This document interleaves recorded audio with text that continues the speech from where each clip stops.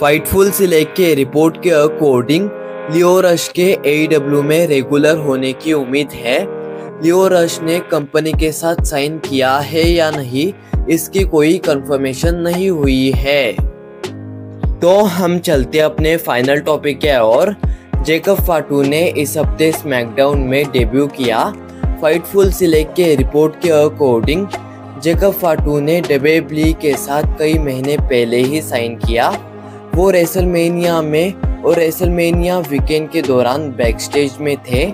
Jacob Fatu ने डबेबली के अंदर तुरंत गुड इम्प्रेशन बनाया और बैकस्टेज में सभी के प्रति उनका बहुत रिस्पेक्टफुल दृष्टिकोण था।